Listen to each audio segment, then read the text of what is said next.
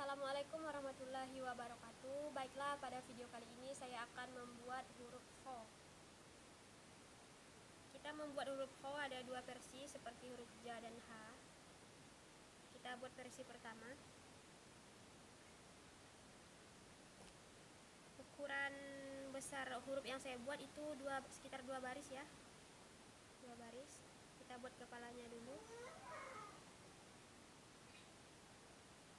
lancip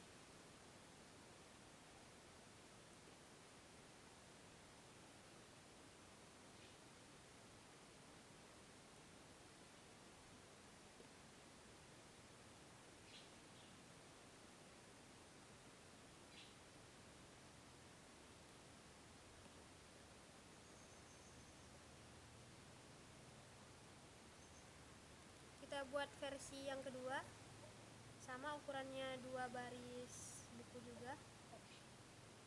Kita buat kepalanya dulu. Ekornya lancip juga. Untuk kepalanya eh, agak menghadap agak mencolok ke sebelah kiri agak lebih panjang.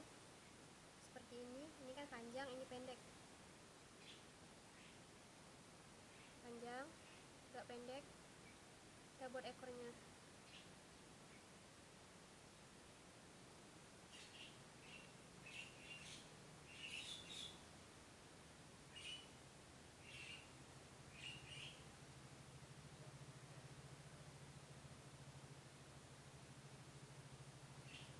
Cukup eh, baiklah cukup sekian video dari saya. Saya akhiri. Wassalamualaikum warahmatullahi